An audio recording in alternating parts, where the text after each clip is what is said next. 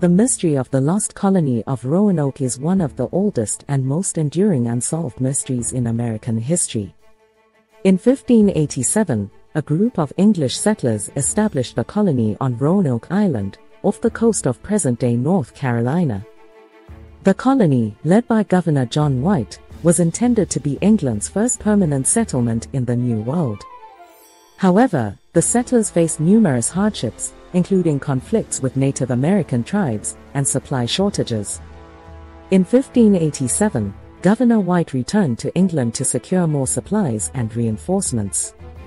Due to the Anglo-Spanish War, he was unable to return to Roanoke until 1590, three years later.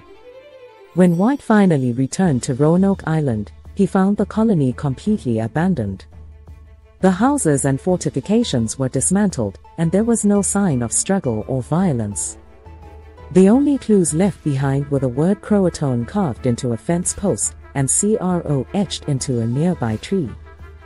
White believed that the settlers had moved to Croatoan Island, which was inhabited by a friendly Native American tribe of the same name. However, he was unable to conduct a thorough search due to bad weather and limited resources, and he returned to England without ever discovering the fate of the Roanoke colonists. To this day, the fate of the lost colony of Roanoke remains a mystery. Various theories have been proposed, including assimilation into Native American tribes, disease, famine, or even a Spanish attack. However, none of these theories have been definitively proven, and the colony's disappearance continues to intrigue historians and archaeologists.